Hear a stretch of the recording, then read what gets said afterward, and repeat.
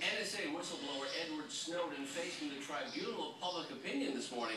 Some are calling him a patriot for revealing invasive surveillance measures by the federal government. And yet others say he's a traitor for releasing classified American secrets. But what would our founding fathers think? Joining us now, historian and the author of a great new book called Blood of Tyrants, Logan Beirne. Good morning, Logan. How are you? Good morning, I'm doing well. thank you. This is an incredible book. I, I started reading it this morning. Blood Tyrants, George Washington, and the Forging of the Presidency. What would George uh, Washington think, and our founding fathers think about this fellow Snowden and his leaks? That's right. So our founders faced men just like Snowden, and they sentenced them to death. Now, the founding fathers would be wary of the NSA uh, surveillance that we have now. We did fight a revolution to avoid government intrusion, after all. But once we won and our republic was established, we had adequate representation. And their founders demanded that we follow our own laws.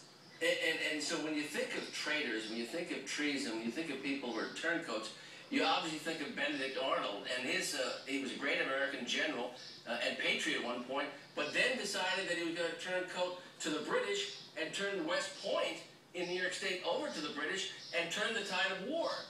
Any kind of uh, comparisons between what Snowden uh, may be doing and, and, and back to Benedict Arnold? Absolutely, there are many parallels. So Arnold was one of our best military leaders, and then he decides to try to sell out our crucial installation at West Point.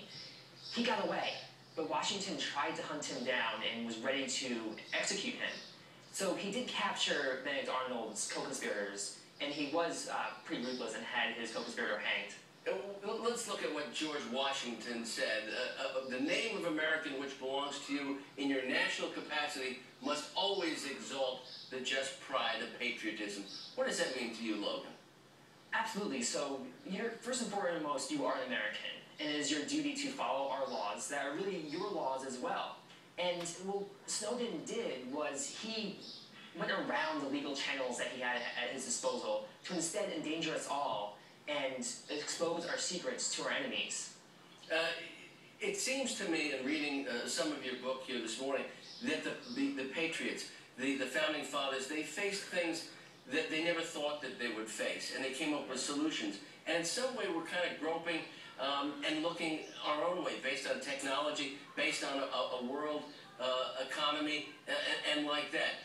What is the most important lesson that you learned in reading these thousands of documents from the University of Virginia, Yale Law School? You laid yourself out in this stuff. What's the most important thing you learned about George Washington's legacy for America? Absolutely. So times changed dramatically, but people do not.